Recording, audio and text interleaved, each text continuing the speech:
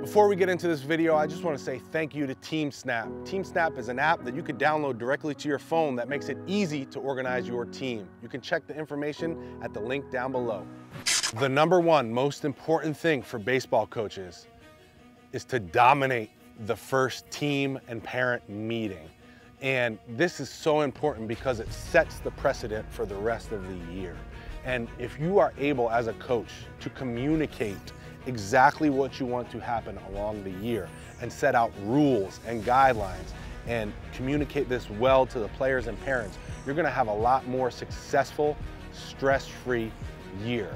If you don't want the parents to be coming up to your dugout in between games, you need to lay this out in the beginning of the year. If you don't wanna have them coming up to you talking about playing time during the season, you need to have a way that they can reach out to you to talk and maybe it's to reach out through email first and then set a time to come into the office and speak with you.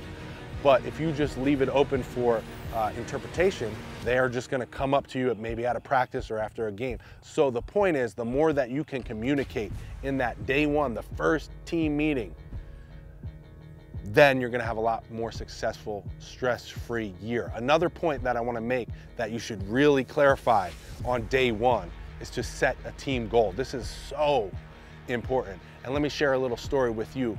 My first year, actually it was my second year at JUCO, both years in fact, the coach wrote on the board five numbers and we were all looking on the board wondering what those five numbers were. And it was the zip code to where the JUCO World Series was held.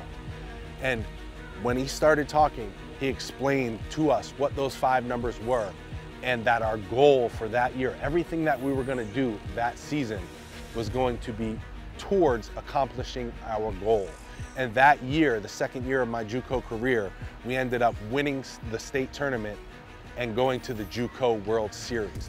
So having that team goal lined out on day one, bringing everyone together to unify for that one specific goal is a very, very powerful way to go about setting your team up for success. If you guys like this video, go ahead and give me a thumbs up. If you guys wanna see more videos like this about coaching tips, go ahead and leave me a comment down below and let me know what you would like to see next.